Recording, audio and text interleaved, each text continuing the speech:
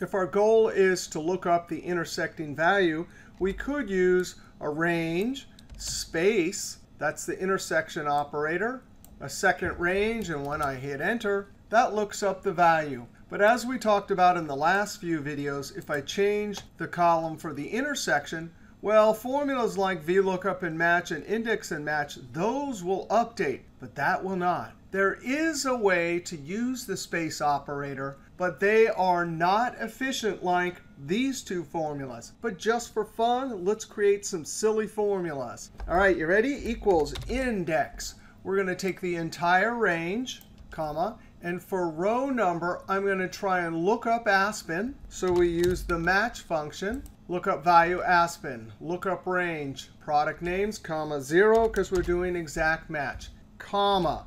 But guess what? Column number. If we leave that argument empty or put a 0, I'm going to leave it empty. When I close parentheses, by leaving it empty, it says give me all the columns. We have the number for the row, all the columns. Now, if I come to the end and hit the F9 key, we've looked up that entire row. Control Z, because we used match, we have a dynamic way to look up whatever row we want. Now we type a space and do the same formula, but for the column lookup.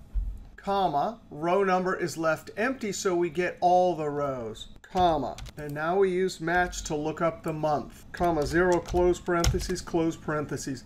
And that crazy formula, when I hit enter, just like these two more efficient, easier to create formulas, will totally update using the space operator. Now, there's another way we could do this. And actually, I have a few videos from back in 2008 and 2009 that showed this next really complicated method for two-way lookup. The first thing we need to do is I need to quickly name each one of these columns, whatever's at the column header, and each one of the rows, whatever's at the head of the row. So I'm going to highlight this entire range. And rather than going up to formulas, create names from selection, I'm going to use the keyboard Control Shift F3. This quickly creates defined names. By using top row, it'll name every one of the columns, whatever's at the top of the row. And the left column, that will be the name for our rows. Click OK. Up in the name box, I have a lot of names now.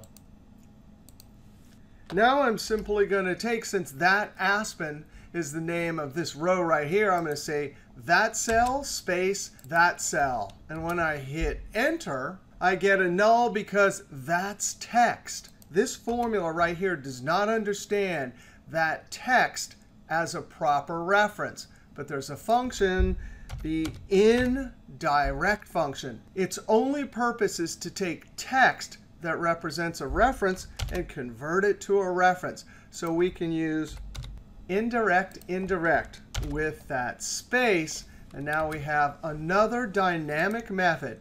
When I change this to May, boom, it works. When I come up and change it to majestic butte, what happens? Well, you can't have a space in a defined name. If you go up here, we can see that it inserted an underscore. So there's no spaces in month, but there are some spaces in product. So right there, I'm going to use the substitute function.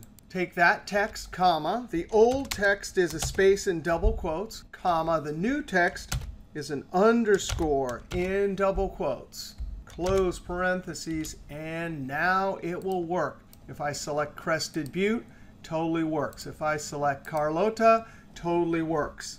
I'm going with VLOOKUP and match or index match match. All of these formulas here and the space operator are cool things to know, mostly to show off as a party trick. All right, let me know what you think in the comments, and we'll see you next video thank you